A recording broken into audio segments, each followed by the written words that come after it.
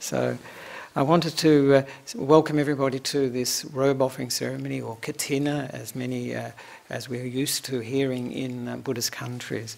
But first of all, I thought I'd start with because we've taken the precepts and we've uh, chanted the uh, recollection of the Buddha, Dhamma, and the Sangha. It's very good to reflect that this is a very important part of the practice. This is how we can affect the world, our families, the society we live in, and the world. This is actually our gift of peace, which I'll probably mention later. But practice is very important. And it's not that the Buddha imposed these like commandments on us. It's up, up to us whether we practice them. Up to us whether we use the precepts in our lives. If we don't use them, of course, we soon find that things get difficult when we break the five precepts for sure. But so I thought I'd tell a story because there seems to be some waving there. Is it okay? Everything technical? I can see some movement. All right? Oh, is that better? All right. Oh, that's nicer, isn't it? Better picture. Anyway, so I thought I'd tell a story. I'm well known for my stories by Nasruddin. Nasruddin is a Sufi teacher who is supposed to have lived in Turkey, I think about 1100, 1200 AD. And uh, he was uh, quite a character. He's a bit like a Zen person, actually. So this one is a story that you haven't heard, actually, but I like very much. And this, on this occasion, Nasruddin, who was uh, living in a village, he went to the capital. And when he came to the capital, at the gates of the capital, the king had made an edict that anyone who entered the city who told a lie would be executed, would be hung on the spot. That's pretty heavy, isn't it? Could be. So Nasruddin arrived at the gate, and the guard said that, you know, that anyone that tells a lie, they will be hung. And uh, so Nasruddin took this on board, and he said, uh, he heard this, and as he entered the city, the, the guards asked him, Well, uh, what business do you have in the city? And so Nasruddin said, I'm on my way to be hanged. it was a lie. it was a lie. But the guards realized that guards didn't believe him at all. They said, but if they hung him, it would be true. so they couldn't hang him for telling a lie, even though it was a lie. So this makes an important people, point. You can't, you can't force people to keep rules, can't force people to keep laws. And the only real, the practice is what we do individually and the truth that we come to. The king can't ordain, uh, can't tell us what the truth is. The Buddha can't tell us what the truth is. He can point it out to us, of course. We'll find out for ourselves by practice. So this is the important thing. So as you go into the city, don't get hang, hung. but that's Nasruddin for you, isn't it? He's so, so good at thinking on your feet, also taking a risk. so I'd like to just uh, um, introduce the robe offering ceremony or katina ceremony, um, just to mention a few things about it that of course, Yasmin, of course, has preempted me. She's given you the background. Now, that's good. You can, can't say too much. So I will tend to give more of a, um, the feeling side of the experience. Because it's a very happy day. This is a very joyful day for people, particularly in Buddhist countries. Um, you know, in Sri Lanka, I see it in Thailand, and presumably in Burma too. And it's a very, you know, if you can offer the katina robe, and this today, um, the katina robe will be offered uh, to myself and to Ayurveda for um, different, not for ours, for us, but on behalf of the Sangha. But for them, you know, uh, for Chinta and Indira will offer to the nuns, and Chinta will offer to the monks. But in uh, Sri Lanka, particularly, it's it's a, uh, a thing that people love to do. They really, it's it's a highlight in their lives.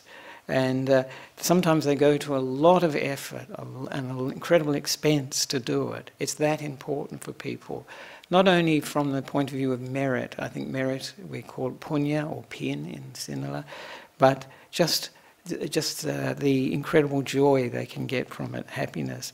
And this really was brought home to me last year when I went to a katina at a uh, uh, went to a katina ceremony at a Dutch, Dutch monk's kuti or hut in the forest, a long way from Colombo, the main city. And uh, the uh, people who had organized the katina, were offering the katina robe and organizing everything for it, had come the day before to the village where the kuti was nearby. And they'd got up very early and organized everything. They'd set up everything going around the kuti for the, uh, for the katina. And on the day they had a perahera, a parade or procession to the, to the kuti. And in due course, they offered the robe. And I, I looked over and saw the man offering the robe. He was offering the katina in memory of his, her, his mother, who had passed away that year, who was a very, uh, we say, devout Buddhist, very devout Buddhist. And I could see tears in his eyes, and they were tears of joy. It was just so lovely to see. And I really, you know, when you see that, you realize how this goes to the heart particularly for traditional Buddhists, you know, how deep it goes. And what an honour, too. It's a great honour. And uh, so this is a very, very uh, significant thing for the lay community in particular.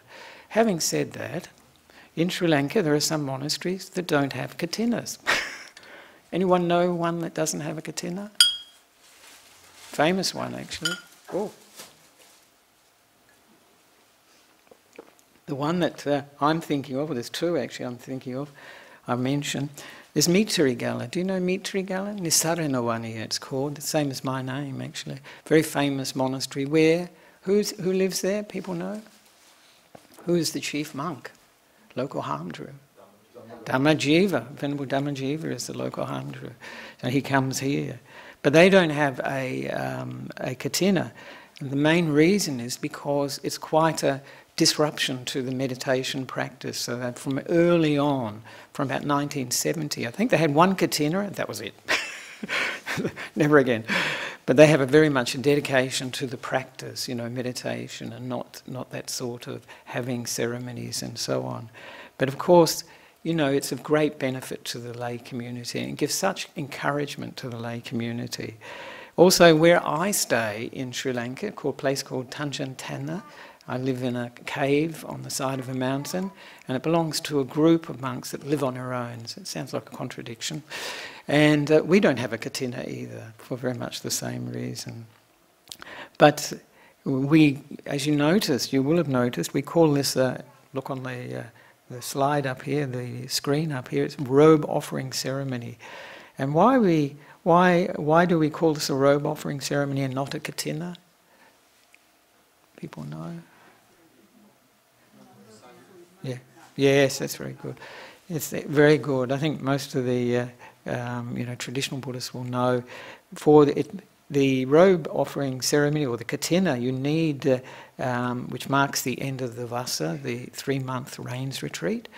Uh, after that period, then we have the one month of offering robes. Katina is katina season, we call it, is for one month.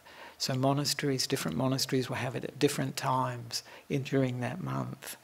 And um, uh, so there's in, an, in traditional Buddhist countries, you might go to three or four or more katinas. But the reason uh, we uh, don't call it a, a uh, katina is because first of all we have the certain conditions before it can become become a katina.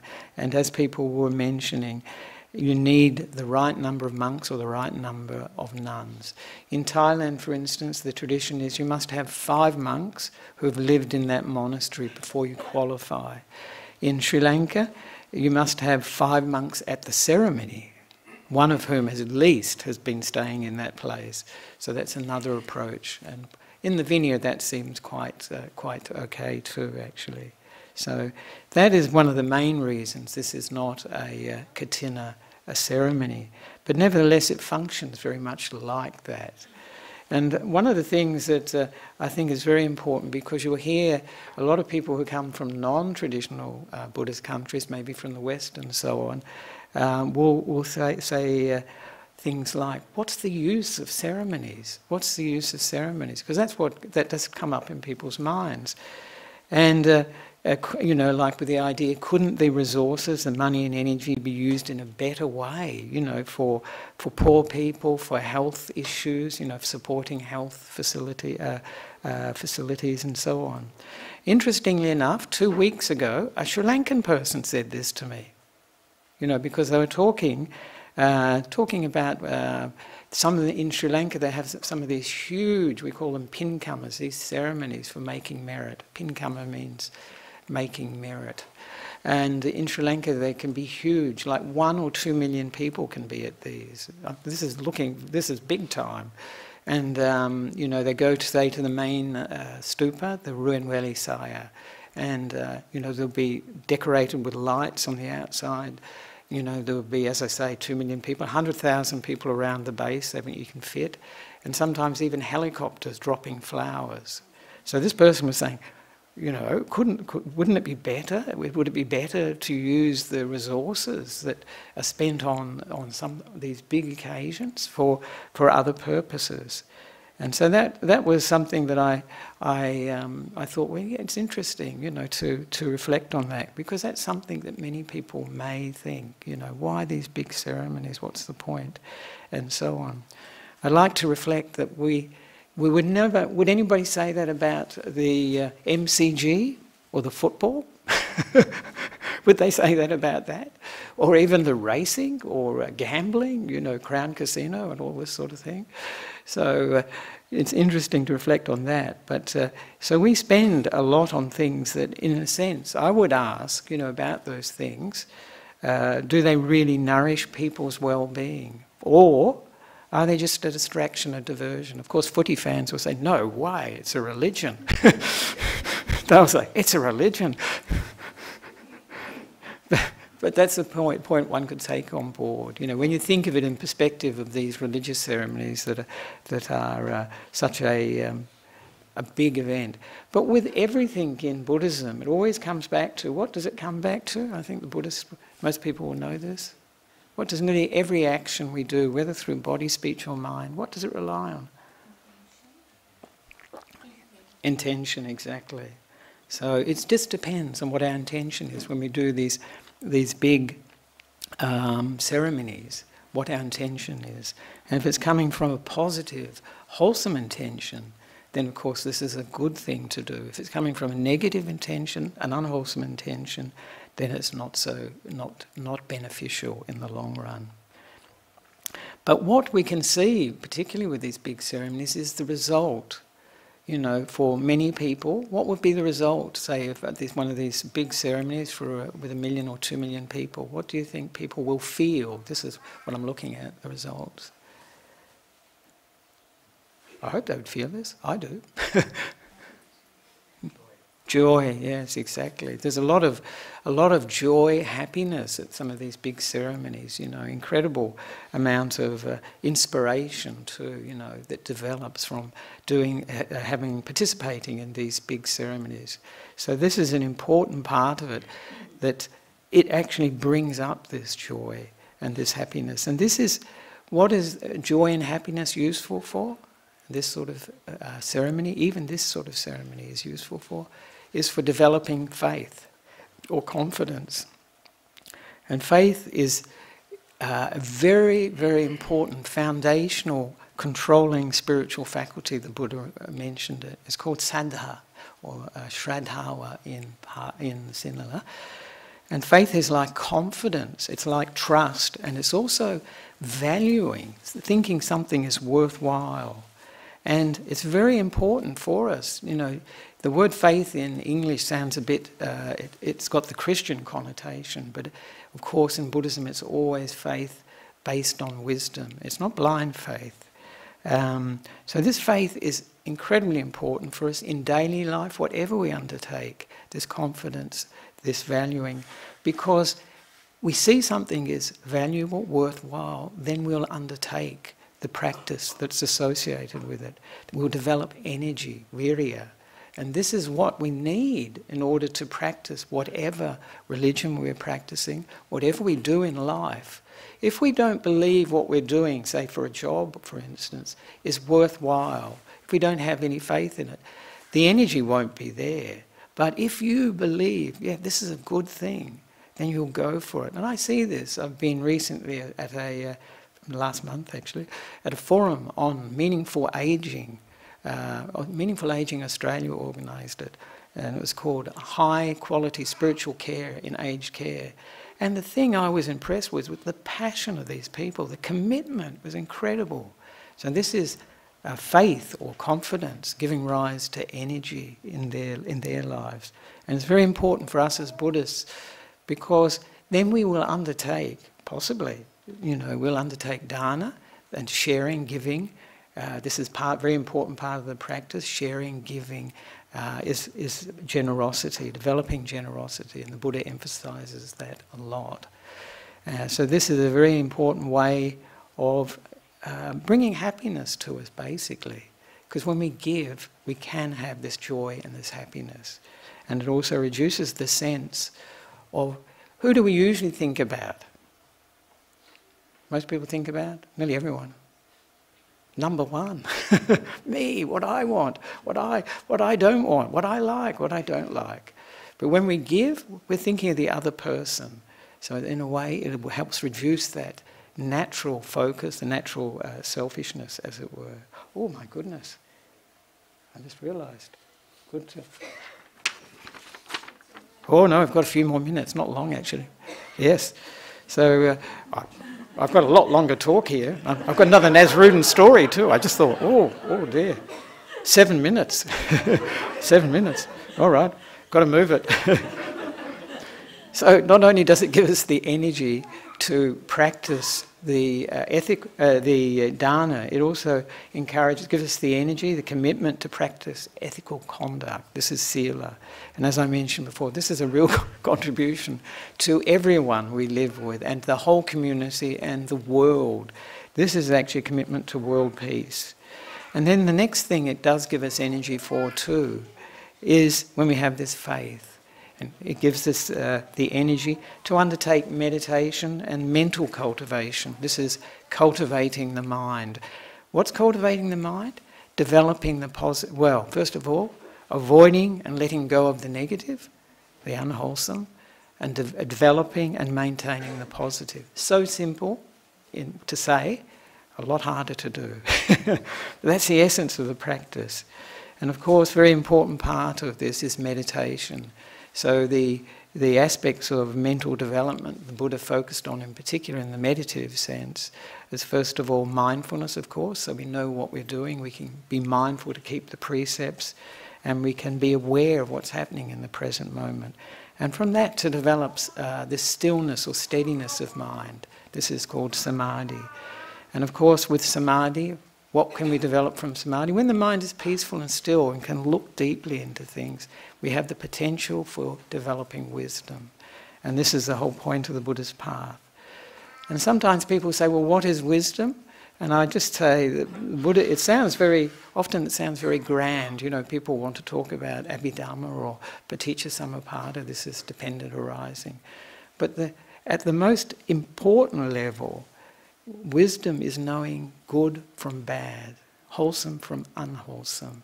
This may sound basic too, but it's, if it were that basic, the world wouldn't be like it is actually. And so, other aspects, of course, of wisdom we, we develop a right view, and this is the, the view particularly of karma and rebirth. Karma and rebirth is very important, central to it, and the fact that there are enlightened beings in the world, and that, the, the, uh, that who have seen the truth, have seen this world and the other world. And of course, the other aspect, and very important aspect of right view, is the Four Noble Truths that uh, this is um, unsatisfactory. This is the cause of unsatisfactoriness, and this is the ending or cessation of unsatisfactoriness, and the path leading to the ending of unsatisfactoriness or suffering. So this is very, uh, this is a central uh, teaching of the Buddha. And in reality, we talked about it, Adrian was talking about it this morning, it's what motivates people. When we have uh, dukkha, we call it, we have difficulties, when we have uh, suffering in our lives, we really are motivated to do something about it. The rest of the time, cruise control. cruise control. But we get off our seats and do something when we've got dukkha. It's a really, it's a great motivator. Terrible that we have to wait until then, isn't it? But it's the truth. Uh, it gets us going. And the other aspect of right view, and we can see it, is the nature of reality. And the nature of the reality is that everything is impermanent, transient, nothing lasts. That's anicca.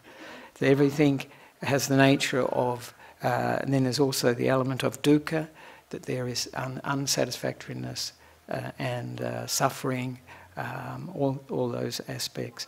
The good thing about dukkha is because of anicca, because of impermanence, there's no permanent dukkha. The problem with our lives is we want permanent happiness, permanent sukha, something that'll last, that'll always be there, and we can't get it. And this leads to actually our dukkha, unsatisfactoriness, as we call it. And then, of course, because of impermanence, where do we hang the sense of me, who I am, a permanent sense of uh, I'm always like this? We realize because of impermanence, there's nowhere that we have a permanent uh, permanent self. And I was talking to a person yesterday who has had a stroke. And I said to her, you know, what's your, you know, in, in terms of anicca, in terms of yourself, the self you had last year before the stroke, very different from the self you're experiencing now. And she said, yep. it's very difficult once you've had a stroke and you're in that situation to live with that. But if you have the wisdom that this is all part of uh, reality, that is part of nothing lasts, that impermanence, transience, that, that helps. As Ajahn Chah said, it's like a spillway in a dam. If a dam doesn't have a spillway where the, um, the excess water can flow off, it'll go over the wall and push the wall down, perhaps. It'll destroy the dam. And that's like when we, you know, have some suffering in our life, our partner's died, a child's died, or we've lost a job, or we've lost everything in terms of our uh, our possessions and so on. If we don't know that this is part of impermanence, if we don't take it on board, at least in our minds, that nothing lasts, our dam will break and we'll be swept away with it. But if we have this spillway of knowledge, understanding, yep, this is the nature of reality. It's still painful. Obviously, it will still be painful, but we can bear it and uh, it will make it a lot easier for us to cope with. So now I'm very close to the time to finish, so I only got, I haven't got really halfway through my talk yet. so I'm going to finish with a Nasrudin story. a good place to finish, actually. So I think you'll like this one. I haven't told this one either, actually, before, so this is good. That's a nice thing. I don't speak as much as Ajahn Brahm, so I don't have to repeat myself as much. so one day, Nasrudin was in his village and uh, the travelling teacher came, and they were having this uh, religious discussion or debate. I think they were trying to outdo each other, actually. And this teacher said to Nasrudin, I am so detached, I never think of myself, only of others. Great. Well, Nasrudin, what can I say? Nasrudin said, I am so detached, I see myself as if I were someone else. He said, so I can afford to think about myself. That's never, and he's very tricky. but I thought he probably won the point, actually. it's actually quite funny. So I think we can, I was going to mention a lot more about the, uh, the importance or the benefits of the, uh, the offering of the robe, the robe offering, of course, that it's good karma, we know that. I'll just mention it brief, briefly. Very importantly, that it's support for the Sangha, material support, but it's also um, spiritual support too. And I liken this to, you know, people who go to a, a, a, football game, a cricket game, and they support their team. It's very, very good. It gives the obvious reason for people going to support these things, apart from enjoying it, is they give energy to their players. We're the players. And so it's so lovely. You're the players too, actually, to be honest. but it's so lovely to see so many players, as it were. Because this year for Vassa, there were 11 monastics in total. Uh, two here, myself and Ajahn Ketapunyu, and eight nuns at uh, Newbury uh, Monastery, and one monk. So that adds up to 11, I hope. So that's pretty good. But it also strengthens, this, this uh, ceremony strengthens our sense of community, as a community coming together, very important. And I'm very pleased for the people who are watching this live streaming because this is an opportunity for them to participate too, and particularly for the elderly or the disabled for whatever reason.